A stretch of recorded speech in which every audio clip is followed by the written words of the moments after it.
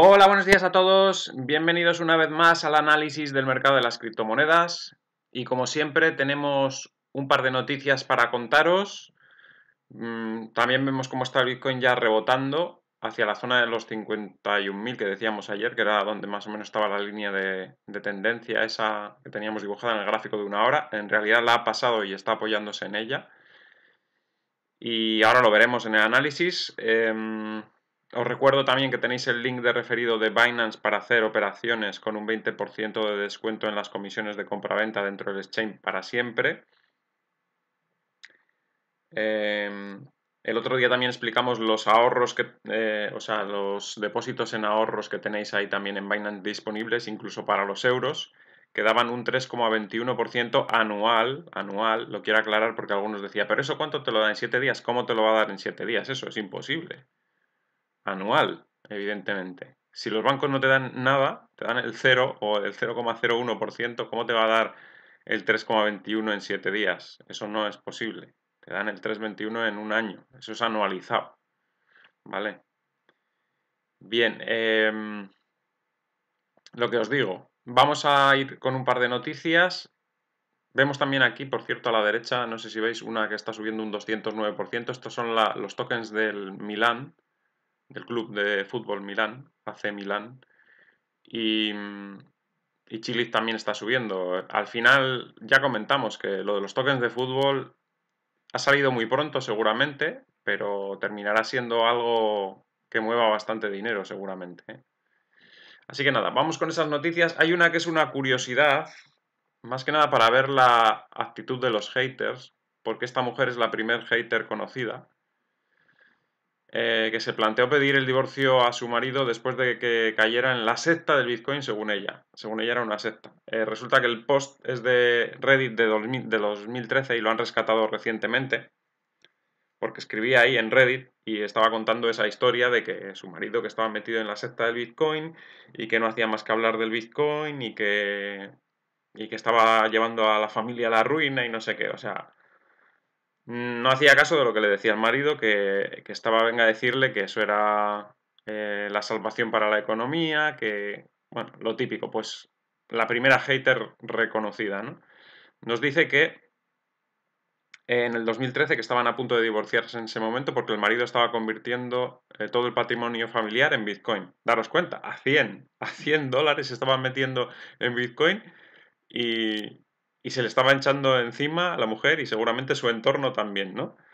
Eh, en el texto, la esposa de la pareja, autora del post, dice que su marido, bajo el seudónimo de John, se había convertido en un fanático del Bitcoin, llevando a la familia en ese momento a perder más de 22 mil dólares con, la criptomoneda que entonces se enfrentaba a una alta volatilidad. Ponía en, directamente ella Hemos perdido más de 22 mil dólares. Le decía que vendiera porque el precio subía y me prometía un gran año en 2014. O sea, e, él, le estaba diciendo que el 2014 iba a ser un buen año y ella que vendiese con unas pérdidas de 22 mil. El precio seguía bajando y él seguía comprando. Pues lo que hay que hacer, es que es lo que hay que hacer. Eh, increíble, ¿no? La mala experiencia de la pareja con Bitcoin no terminó ahí. La mujer dice que su marido comenzó a molestar a la gente de sus eventos de trabajo tratando de convencerles de que también invirtieran en criptomonedas. Encima de que estaba intentando salvar a la gente, la mujer poniéndole a caldo en Internet. Mi marido empezó a traer la mierda de Bitcoin a mis eventos. Mis eventos son mi trabajo. La gente de aquí tiene mucho dinero y él lo sabía. Lo vio como una especie de oportunidad. No dejaba de repetir que los impuestos son un robo y que Bitcoin es una salida. El dólar está a punto de colapsar, los, los bancos están destruyendo el mundo, etc. En esos lugares uno debería hacer bromas sobre cómo va el equipo, su equipo de fútbol, no entrar en estas discusiones políticas. O sea, estaba advirtiendo a todo el mundo y ella nada, que, que no, que le daba vergüenza que estar con el marido cuando hablaba de esas cosas. Es increíble. Eh, ¿no? Dice aquí, la mujer dice que el comportamiento de su marido le estaba robando la felicidad y que en ese momento ella sabía más de Bitcoin que él. Me parece que he leído más eh, sobre Bitcoin que él porque no quiere hablar de los inconvenientes conmigo. Me dijo que todos los problemas se resolverán y que estamos en la fase inicial. Parece vivir en una burbuja constante de buenas noticias sobre este tema, cuando en realidad a nadie le importa. Me da vergüenza estar cerca de él. Está arruinando mi trabajo y robando mi felicidad. Fijaros lo que dice. Si es lo mismo que dicen todos los haters, ¿eh? eh que parece vivir en una burbuja constante de buenas noticias, que, eh, que en realidad a nadie le importa, que no habla de los inconvenientes, que todo se resolverá. Pues es que es así. Y es que es la pura realidad. Y eh, ocho años después es, ha quedado en ridículo totalmente, como quedan todos los haters que, entran a despotricar del Bitcoin sin tener ni idea de lo que están hablando, ¿no? Y se hablan en los mismos términos en el 2013 que ahora. Los mismos términos que se utilizaban aquí eh, se, siguen utilizando ahora. Y no lo comento esto porque, porque sea la mujer. Si hubiera sido el marido el que lo hubiera hecho, sería lo mismo. ¿eh? Eh, son términos de hater. Da igual el género y da igual quién lo diga. O sea, aquí decía, solía considerarlo un tipo inteligente y nunca jamás pensé que básicamente sucumbiría al lavado de cerebro de un grupo de idiotas despistados de Internet que parecen no saber absolutamente nada sobre finanzas o el mundo real. ¿Qué hago? No soy nada religiosa, pero mi familia sí. Siento que ni siquiera podría mencionar el divorcio y quiero salvar a mi marido. Increíble, ¿no? Pues em, eso es lo que pasaba en 2013, cuando estaba comprando a 100.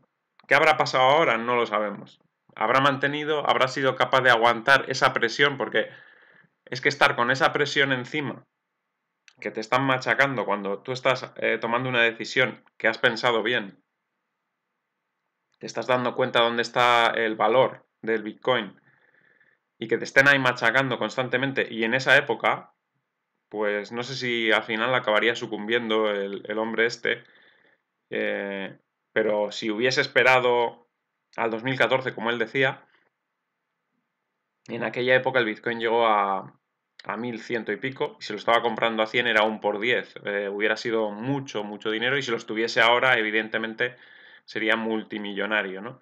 Entonces, hay veces que la presión del entorno pues eh, es muy fuerte y no te deja alcanzar tus metas. Nunca os dejéis llevar por la presión del entorno cuando tengáis una cosa clara. Este hombre lo tenía bien claro, cada vez que tenía una pequeña cantidad de ahorro lo metía en Bitcoin y estaba intentando ayudar a los demás también para que consiguiesen esa libertad financiera y a él lo único que le estaban haciendo es poner la zancadilla constantemente y no sé si al final conseguiría o no, porque este post es del 2013 y no continuó, no sabemos si conseguiría o no hacerse con la libertad financiera. En aquella época también es verdad que había muchas más trampas que ahora, si estaba en un exchange eh, como MTGOX, por ejemplo, podía haber perdido todo al final, pero la idea suya era la correcta. Estaba con las mismas ideas que tenemos hoy en día, que los bancos,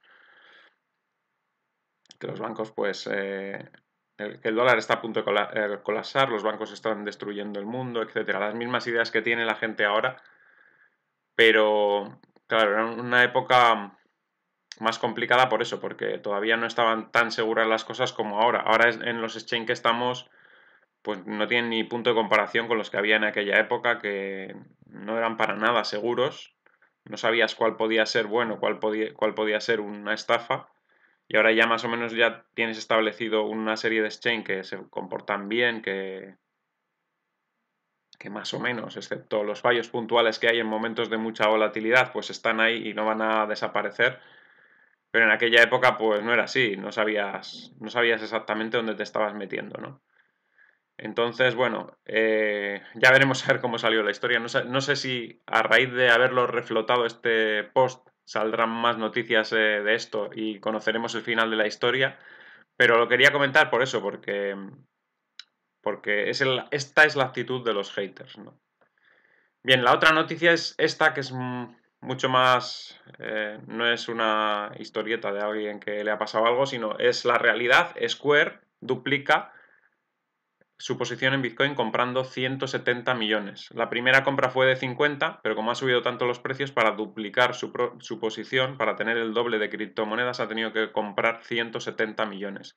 Es decir, desde la última vez que compró, eh, con sus primeros 50 millones de Bitcoin ha obtenido unas ganancias de 120 millones, porque ahora ha tenido que comprar 170 para comprar la misma cantidad que compró cuando compró 50 millones.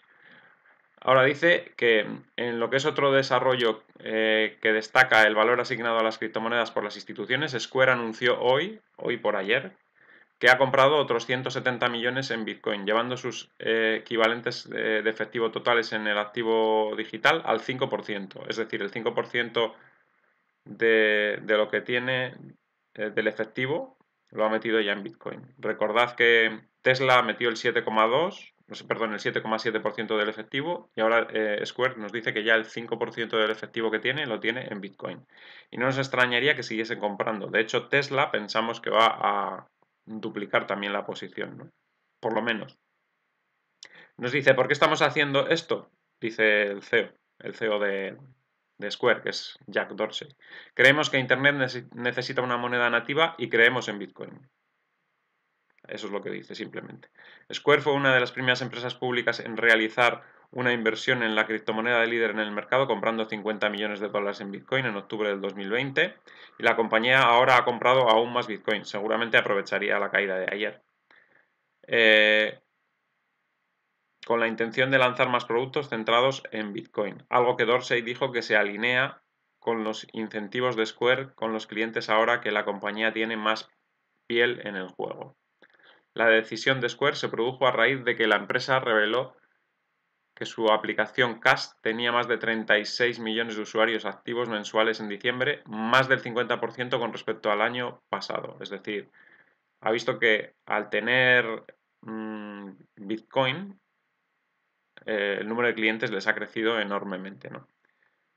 De hecho, la compañía lanzó recientemente Bitcoin Boost, una función que brinda a las personas una forma de ganar Bitcoin en, otras, en todas las compras con tarjeta de efectivo. Desde que ha hecho eso, pues ya ha aumentado el número de clientes, ya veis. Además, la compañía también reveló que en el cuarto trimestre de 2020 registró un aumento del volumen, de los volúmenes de Bitcoin por cliente en más de 2,5 veces en comparación con el mismo periodo del año pasado, con dicho aumento impulsado por la actividad de compra de clientes nuevos y existentes. Como era de esperar, en correspondencia con la carrera alcista en todo el mercado, las tasas de adopción de criptografía se han disparado mucho últimamente, con un millón de clientes comprando Bitcoin por primera vez solo en enero de 2021 en comparación con 3 millones de clientes que lo hicieron durante la totalidad de 2020. Es decir, solamente en enero se ha hecho un tercio, se ha comprado un tercio de personas de lo que compraron en todo el año pasado. Por lo tanto, es muy comprensible que Square eh, haya duplicado sus compras en Bitcoin. Vale, pues eso es un poquito lo que os quería contar de noticias y vamos con el análisis, que ya vemos cómo tenemos al Bitcoin subiendo. Vamos a ir al gráfico de una hora, porque en el gráfico diario pues lo que tenemos es ese rebote que posiblemente nos lleve a esta línea de tendencia que se perdió, que es una línea acelerada y que no íbamos a mantener, porque de haber mantenido esa línea estamos hablando de que hubiéramos subido en poquísimo tiempo pues a los 100.000. Hubiéramos llegado a 100.000 en esa línea, pues seguramente en abril. A ver, vamos a ver. Un segundo. A ver si me deja mover el gráfico un poquito para arriba. Pues fijaros, si llegamos a seguir en esa línea, estaríamos en 100.000 hmm, para finales de marzo. Entonces es imposible seguir esa línea por lo tanto, es normal que la haya roto y es normal que establezcamos una línea de tendencia un poco más suave, que es más o menos esta que tenemos dibujada en este otro gráfico, posiblemente, que ahora de momento está lejos, pero que con un movimiento lateral en esta zona, que es factible que hagamos un movimiento lateral de otro, eh, del estilo ABC que solemos hacer, pues una, esto sería la onda A, ahora vendría una onda B y después una onda C, y apoyarse otra vez en esta zona en esa línea y sí, ahí sí que se puede establecer ya una tendencia un poco más consistente en el largo plazo porque no tiene tanta pendiente, ¿no? Pero bueno, en el corto plazo, como decíamos, vamos a poner el gráfico en una hora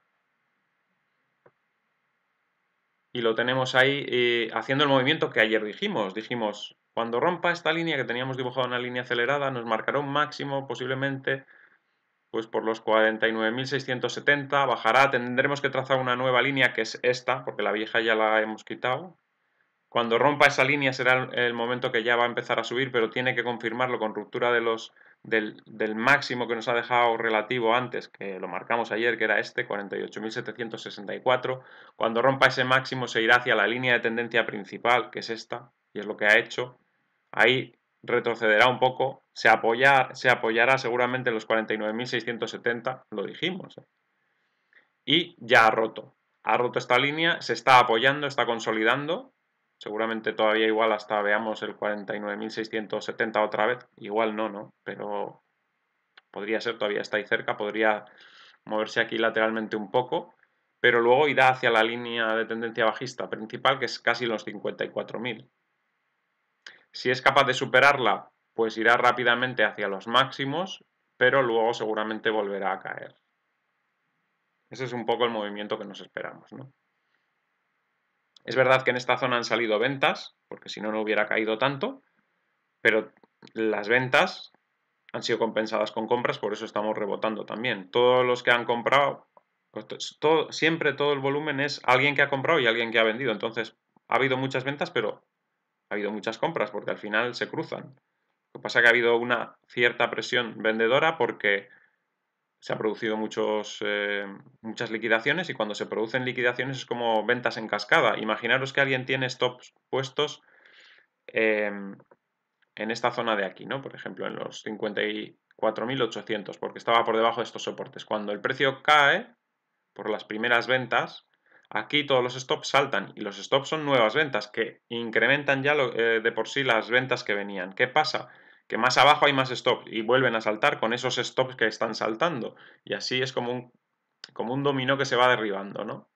Cuando estás ahí eh, con tantas posiciones apalancadas, pues es así, es un dominó que tiras la primera ficha y ya van todas seguidas. Por eso se producen esos movimientos bruscos como los que comentamos ayer en exchanges que tienen poca liquidez como Kraken, ¿no? Pues van saltando esas fichas de dominó, van saltando y de repente no hay demanda abajo porque nadie esperaba que, los precios bajasen tanto y claro, eh, en un momento puntual saltan todas las órdenes de venta a la vez a mercado, todos esos stops de liquidación a mercado y al saltar al mercado van hacia donde haya demanda. Y si no hay demanda, porque en esos precios nadie sospechaba que iba a bajar tan abajo, pues nos encontramos como que de repente Ethereum cotiza a 700 dólares en Kraken, cuando en el resto de mercados estaba cotizando a 1400. Pues eso pasa, ¿no? Eh, por falta de liquidez y por esa, esa ruptura encadenada de, eh, por, por stops que van saltando, ¿no? Y entonces, bueno, sí, ha habido muchas ventas, pero luego en cuanto ha llegado a unos precios en los que resultaba atractivo comprar, pues cuando tienes ya tiempo para reaccionar, reaccionas y compras. Evidentemente, cuando hace dos días estás en 58.000 y no tienes intenciones de comprar en esos precios, pues, pues evidentemente si cae a todo correr y tú no tienes disponible el efectivo en ese momento, no te da tiempo a comprar. Pero cuando ya han pasado dos días y está en 45.000, 46.000 y te ha dado tiempo a reaccionar y a meter dinero, seas un individuo o seas una empresa, pues compras porque dices, esto es un chollo. Y entonces solo, solamente eh, la caída pues es del momento puntual, de falta de demanda en ese momento porque no, porque no reaccionas tan rápido. Cuando cae un 20% tan rápido no te da tiempo a meter mucho dinero a todo correr en el exchange normalmente, ¿no? Entonces tiene su proceso y en ese proceso estamos. Y ahora la gente ya está comprando otra vez. Y os recuerdo que estamos en 50.671. En 50 que la gente se le olvida rápido. Estamos en 50.679 ahora mismo. Que cuando hace nada, pero hace nada, es que fue hace nada.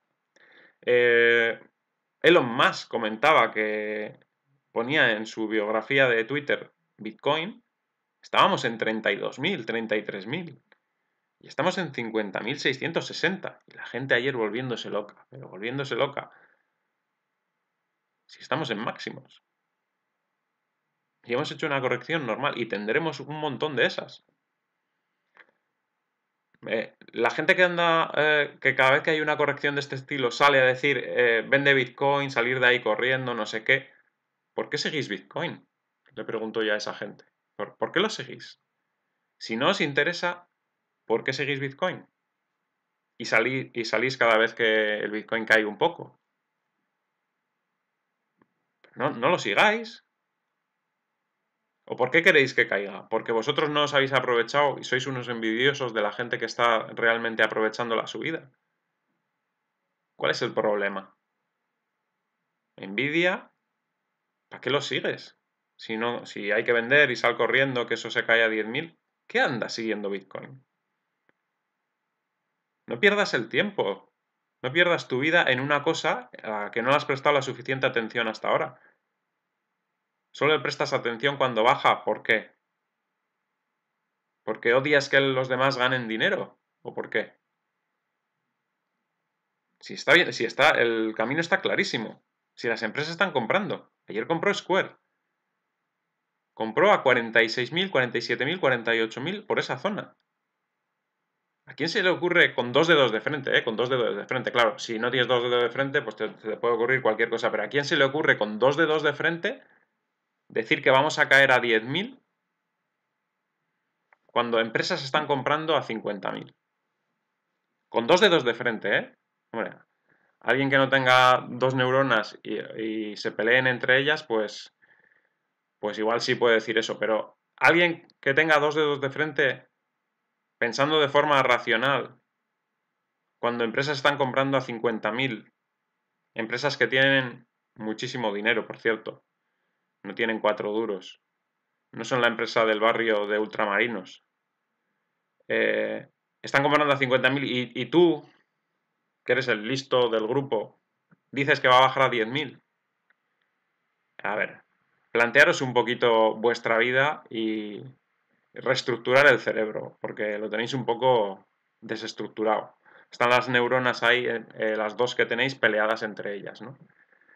Así que bueno, eh, simplemente quería comentar eso y vamos al análisis de las altcoin.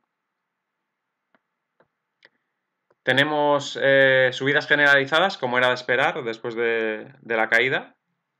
Ayer ya veíamos a última hora reacciones bastante, bastante claras en muchas de ellas. Una de ellas era, por ejemplo, AVE, que se veía que estaba recuperando muchísimo en el cierre, pero tenemos un montón de subidas fuertes hoy, ¿no? Seguramente también rebotará, supongo, ¿eh? esto no lo sé, rebotará también eh, MicroStrategy a la tarde cuando abra el mercado americano, supongo, aunque de MicroStrategy todavía no sabemos si ha comprado o no ha comprado. Eh, en teoría el dinero ya lo tiene y no sabemos si está esperando para comprar o directamente ya compró el fin de semana y todavía no, lo han anunciado, pero supongo yo que en, breve eh, Michael Saylor nos dirá si ha comprado o no ha comprado, porque en cuanto compre, tiene siete días para comunicarlo a la SEC. Entonces no creo que tarde mucho en.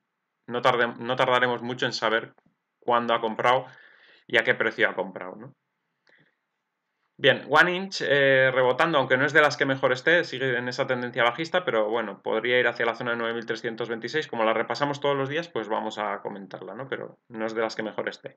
A AVE sí que tiene buena pinta y ayer ya a última hora lo estábamos viendo, estaba recuperando muchísimo y con buena intención y al final la vela de hoy también está siendo positiva y puede ir hacia la zona de 8377.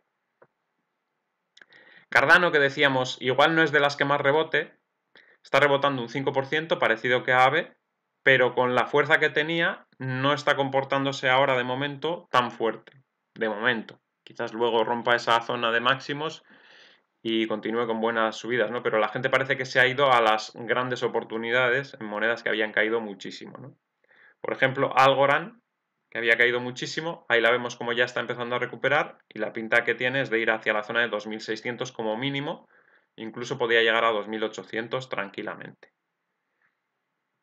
Todo esto evidentemente si se mantiene este rebote hasta, hasta los máximos, que es lo que pensamos que puede pasar. Eh, AirSwap también se había desplomado muchísimo y también tiene un rebote interesante, aunque todavía no es mucho. Vemos aquí también la moneda del Atlético Madrid subiendo. Eh, todas las de fútbol, evidentemente, con la salida del Milán se animarán, igual que Chile. Chile, la verdad, la verdad es que tiene mucho potencial porque ahora mismo estamos viendo solamente la punta del, iceberg. Eh, lo hemos comentado muchas veces. Chile mm, va a englobar un montón de proyectos deportivos con sus tokens. La gente todavía no conoce lo que se puede hacer con esos tokens. Seguramente se irán implementando muchas, em, eh, muchas cosas eh, para hacer con esos tokens. Seguramente pues incluso podrás comprar entradas para ver a tu equipo de fútbol o de baloncesto o de lo que sea con esos tokens seguramente. mm, en el futuro con descuentos, etcétera. Eh, seguro que, que, va a tener mucho dinamismo todo eso. Lo que pasa que está todavía pues en pañales. Están empezando a salir algunos equipos nada más. Vas a la página de Chili y tiene como 20 monedas o, 22 o 23, no sé, no, no, tiene muchas. En cuanto empieza a meter equipos de la NBA, de baloncesto, etcétera, la moneda Chili, lo que es Chili, va, va a tener un comportamiento, yo creo, genial ¿no? en el futuro. Lo que pasa es que estamos en un proyecto que es muy joven y le costará asentarse en el mercado, pero vamos, yo pienso que va a ser un buen proyecto. Y los tokens de fútbol también darán su juego cuando la gente ya sepa todo lo que se puede hacer con ellos. Atom un poquito más floja porque es lo mismo que decíamos de Cardano, es de las que más fuerte ha estado últimamente y claro, la gente hoy va a pescar gangas, donde había oportunidades, grandes descuentos, ¿no? En esta no había un gran descuento. Audio, que también se había estado comportando bien, pues sigue comportándose bien, pero también es otra que, no es de las que más descuento tenían y le está costando hoy eh, repuntar. Aquí tenemos, por ejemplo, AVA subiendo un 11%, que estos días había caído bastante bueno, estos días, ayer en concreto cayó bastante hacia los 421 y el rebote hoy es fuerte. AVAX, que llevaba una tendencia bajista fuerte, también está empezando a rebotar posiblemente hacia la línea de tendencia bajista, que es esta zona de los 76.700 más o menos. Eh, BAND se ha quedado un poquito estancada. Eh, la zona de los 25.047 es soporte, pero el rebote ha sido muy tibio Mejor rebote de Basic Attention Token, que ya ayer la veíamos como rebotaba en los 900 y se sitúa otra vez por encima de los 1040. Buena pinta en principio del gráfico, buena pinta. Eh, Binance también muy buen rebote. Mm, se está comportando también muy bien últimamente porque está teniendo mucho tirón la Binance Smart Chain. Está empezando a, a ser un competidor muy duro. Va a dar mucho que hablar seguramente. Estoy muy convencido de ello. BQX también, otra moneda que está súper alcista desde hace tiempo y ahí sigue con esa subida. Eh, BTCST también, estos días eh, estaba muy alcista y hoy continúa con esos avances. Eh, el rendimiento que están dando en el minado estas monedas está siendo muy alto y por eso la gente las está comprando. Cuando ese rendimiento vaya disminuyendo, pues será momento de salir de la moneda. Pero con estas subidas la verdad es que está comportándose muy bien. Cake también rebota, de momento aguantó la línea de tendencia a duras penas, mientras esté por encima de esa línea ya dijimos que aguantará, en cuanto la pierda pues habrá corrección. CHR también buen rebote desde los mínimos de ayer, seguramente se acercará a los 116. Chilid, como hemos dicho, subiendo y ha llegado a estar bastante por encima de los 100, por encima de los 110 incluso. Ayer lo comentábamos que se había comportado muy bien para todo el movimiento que había tenido em, el mercado estos días, había aguantado en la parte alta, cuando, mm, si recordábamos hace dos semanas, cuando los precios eran parecidos en el Bitcoin, andábamos por la zona de 67, no conseguíamos pasar esa resistencia y tal, y ayer aguantaba pues en la zona de los 80 y pico, 90, y hoy vemos cómo ha salido al alza, sí que es verdad impulsado por eso por esa mm, salida del Milán a cotizar, pero, pero que seguirá teniendo buenas noticias de ese estilo, por lo tanto esperamos subidas en, los, en las próximas semanas y meses incluso. Compound también rebotando fuerte hacia la zona de resistencia de los 8.899, ha tocado ese nivel, incluso lo ha pasado. Coti también rebotando bien, de nuevo, bastante fuerte Coti, la verdad. No ha tenido gran corrección, solo ayer. Cayó hacia la zona de soporte de los 308, no llegó a tocarlo, pero casi casi, y después rebotó. CRO también subiendo otra vez. Eh, los precios más o menos dijimos que podían ser estos máximos que tocó el día 22 de febrero. Más o menos ese podía ser su precio con la quema de tokens que decían. Eh, CRV también rebotando en nivel más o menos justo hasta la resistencia de los 469. CTSI un 12% de subida que casi casi llegó a tocar la línea de tendencia pero, pero se quedó ahí a las puertas y rebota antes de tocarla. Das también buena subida, a pesar de que la vela de ayer era mala, hoy recupera ese soporte de los 4.830. Eh, Digibyte también recuperando, la caída había sido muy dura. Y bueno, tiene hoy un, día de recuperación. Día también eh, recuperando un poquito, pero el gráfico todavía no es bueno. En general hay algunas que se pueden considerar que tienen mejor aspecto y otras solamente están rebotando. Dogecoin rebota también en ese soporte, de momento no lo ha perdido, pero todavía hasta finales de marzo tenemos tiempo de caer a los 50. DOT eh, subiendo pero poco también porque es lo mismo que decíamos de Cardano, mm, se buscan otras oportunidades de más potencial en estos días. Cuando se asiente el mercado luego volverán otra vez a las, a las que se han comportado mejor, pero estos días se busca potencial de revalorización en el corto plazo. Elron también empezando a intentar romper la línea bajista, esta puede tener también buena subida si consigue romper esa línea. Elf eh, retrocediendo, mala pinta de momento. NJ también cayendo un 4%, tampoco tiene muy buen aspecto. Perdón, NJ subiendo, eh, no sé si he dicho subiendo o bajando, subiendo un 4%, pero todavía no sale de estos mínimos.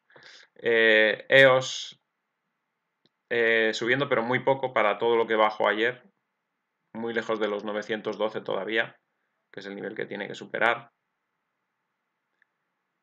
Ethereum recupera un 3%, rebota justo en la parte baja del canal y llega hasta la primera resistencia que son los 0,003327. Ahí de momento se ha frenado. Pero bueno, eh, si sigue rebotando la altcoin, evidentemente podría subir un poco más hacia la zona de los 0,03490 más o menos. Eh, FED un 8% de subida, que ayer también llegó a unos niveles muy aceptables para haber entrado. FTM continúa disparadísima, en este caso ni siquiera se... O sea, no, no, no han ido a por otra moneda para buscar más rentabilidad, directamente siguen comprando FTM, que ya llevaba unas subidas tremendas estos últimos días. Es increíble cuando hace nada, a principio de año estaba en 50 o por debajo de 50 y ahora estamos en 1143. Es casi 1100 por encima. O sea, cuando estaba en 50. Es que es, increíble la subida que lleva FTM. Estoy alucinando. Bueno, FAN también eh, había llegado a una zona más o menos que era zona de acumulación, ya lo comentábamos hace dos o tres días y también tiene un rebote importante del 24%. Gas, que también estaba estos días con fuerza, vuelve a subir. GRT sube un 11%.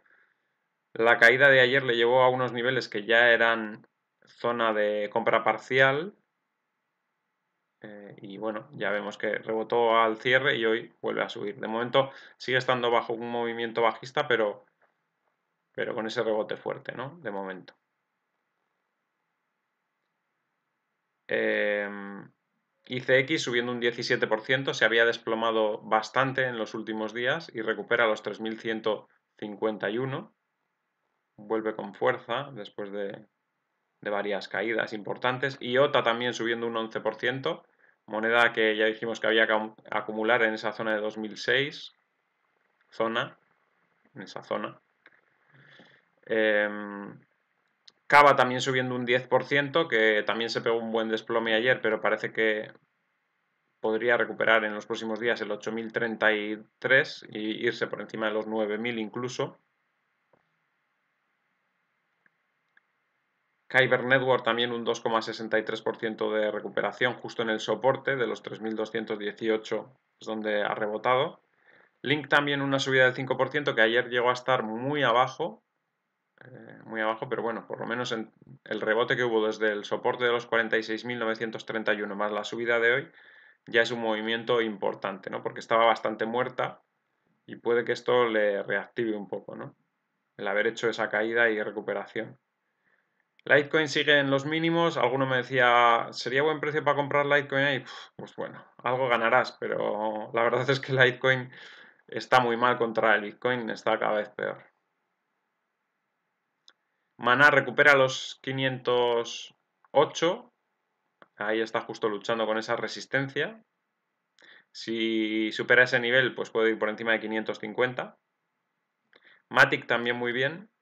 Nuevamente. Ayer tuvo un rebote tremendo desde los mínimos y hoy vuelve a subir claramente por encima. Comportamiento muy bueno de Matic. Eh, Maker un 2% arriba, también eh, queriendo rebotar, lo que pasa que mucho menos que Compound, yo creo que todavía le queda potencial eh, de llegar a los 0,05. MicroStrategy, lo decíamos, bajó ayer mucho, hoy seguramente veremos recuperación, aunque de momento en la preapertura nos está marcando prácticamente el mismo precio del cierre de ayer, pero seguramente si el Bitcoin sigue estando así, tendremos recuperación.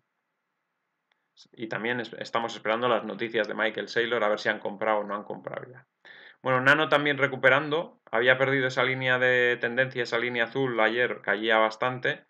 Y desde los mínimos que tocó más o menos en la zona de 900, pues vemos como ha subido bastante ya, ¿no? Entre ayer y hoy. Nier continúa un poco de capa caída, quizás sea una buena oportunidad porque todavía no ha rebotado y da la impresión de que en cualquier momento puede rebotar hacia la zona de los 800, por lo tanto creo que es una buena oportunidad para comprar.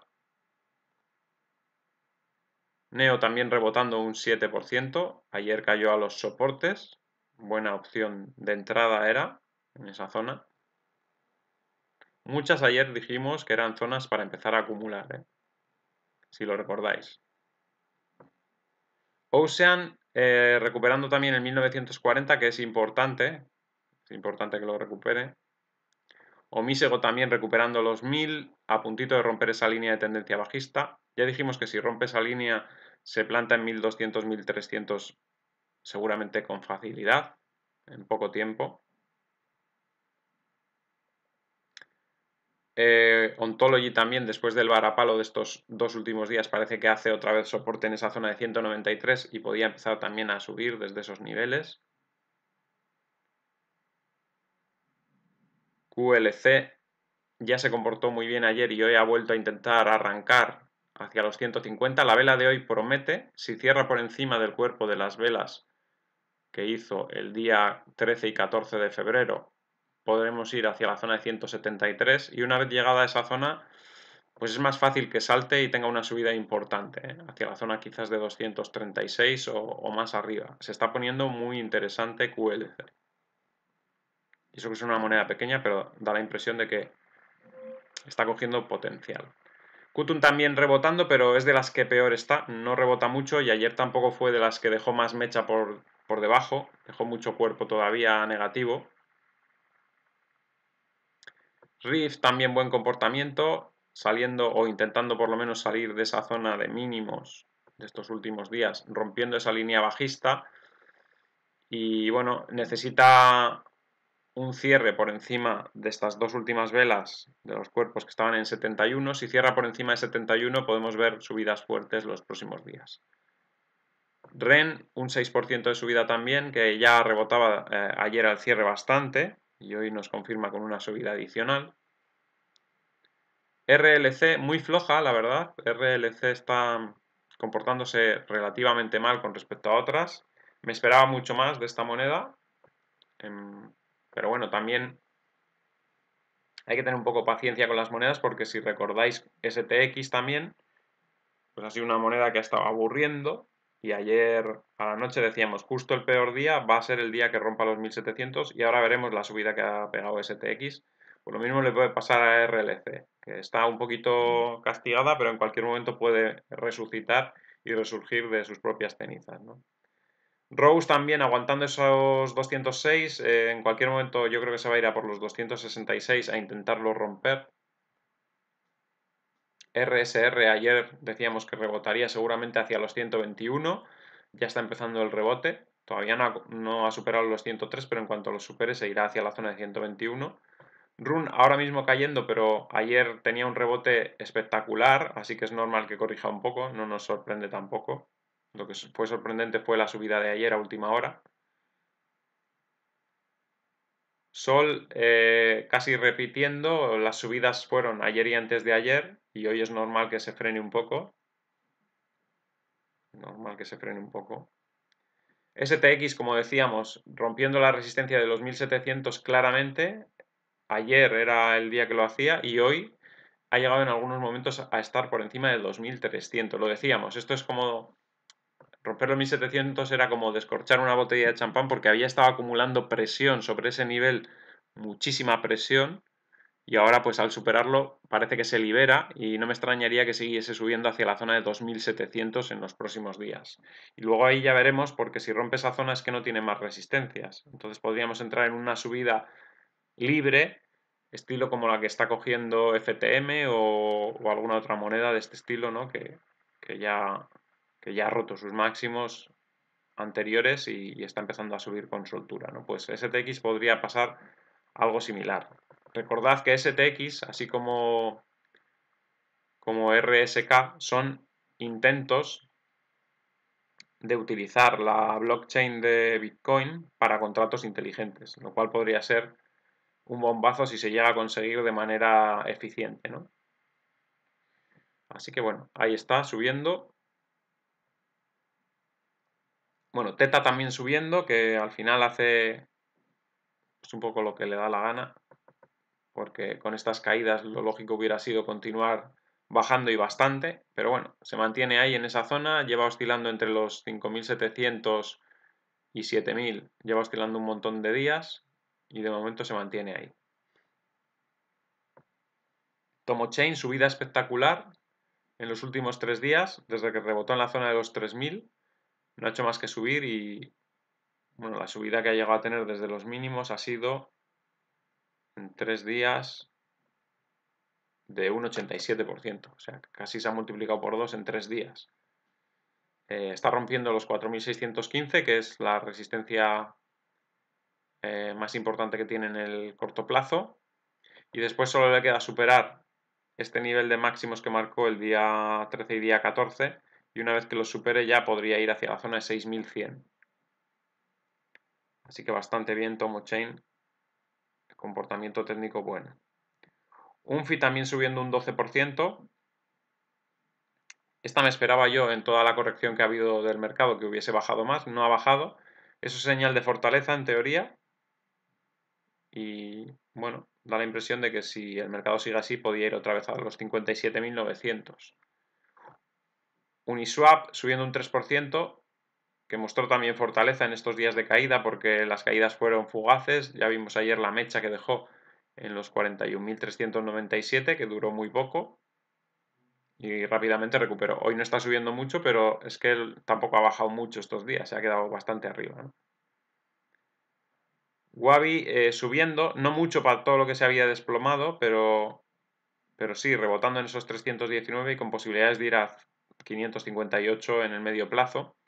OneChain también rebotó prácticamente en soporte de 1328 y se mantiene con subidas, aunque no son muy espectaculares en este momento. Waves rebota hasta la zona de resistencia de 2176, un 8%. Aún así, no me, no me termina de convencer eh, este gráfico, no tiene una pinta muy clara. WRX parece que quiere continuar con la subida, en cualquier momento da la impresión de que va a salir hacia la zona de los 800. Walton Chain también rebota en esa zona de soporte que hablábamos de 172, más o menos. Ayer estuvo un poco por debajo, pero acabó más o menos en esos niveles y, está rebotando. Stellar también tiene un rebote interesante, sobre todo desde los mínimos de ayer, que tocó 700 prácticamente, bueno, un poco por debajo de 700. Y vemos cómo rebota hacia esa línea verde que es resistencia. Aún así me sigue sin convencer mucho Stellar. Monero también ayer tuvo un rebote muy fuerte, pero hoy pierde gran parte de lo ganado. Comportamiento extraño de estas monedas, que resulta que ayer, que era un día un poco malo para las altcoin, subía de las que más, y hoy, que es un día bueno para las altcoin, baja un 5%. No se comprende mucho, ¿no? Ripple sigue estando estancado en esa zona de los 900 y pico satosis. No termina tampoco de levantar cabeza. Ayer en algunos momentos estuvo muy mal. Todavía hay gente que, se cree que Ripple va a hacer algo.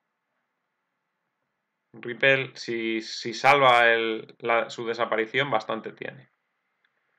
Tezos eh, en el soporte de los, de los 728, desde ahí puede rebotar hacia la zona de los 900. Está empezando a rebotar un poco, vamos a ver. Aún así, Tezos mm, ha perdido mucho interés. ¿eh? De momento, por lo menos, ha perdido mucho interés. Igual en el futuro lo recupera, pero de momento ha perdido mucho. ZK también más o menos en niveles donde podría rebotar. Está intentando hacer un suelo en esa zona. No, ha tenido buen comportamiento estos últimos días, pero hoy tampoco rebota. Eh, Cílica sí que está rebotando bien desde los mínimos de ayer. Tocó esa zona de casi 180. Y bueno, parece que se encamina otra vez hacia los 260. Y ZRX, que mostraba buen comportamiento ayer, hoy está muchísimo más floja no corresponde con, lo que estaba mostrando ayer. Con el día como estamos hoy, la verdad es que debería estar bastante mejor ZRX y sin embargo está en, ese, en esa caída del 4%, así que se ve que el interés ha pasado a otras monedas hoy. Bien, vamos otra vez al Bitcoin para terminar ya el vídeo. Lo vemos en 50.350 más o menos consolidando esos niveles que hablábamos antes, donde está esa línea de tendencia bajista.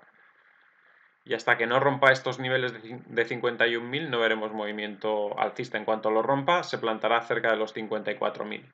Otra vez. Cerca de los máximos. O sea, estamos ahí. Si solo ha caído un par de días. Y es que es lo normal. Y es que es necesario. Y es que es sano. Y es que no podíamos seguir con esa pendiente de subida tampoco mucho tiempo más. Así que bueno, eh, eso es lo que tenemos. Espero que os haya gustado el análisis.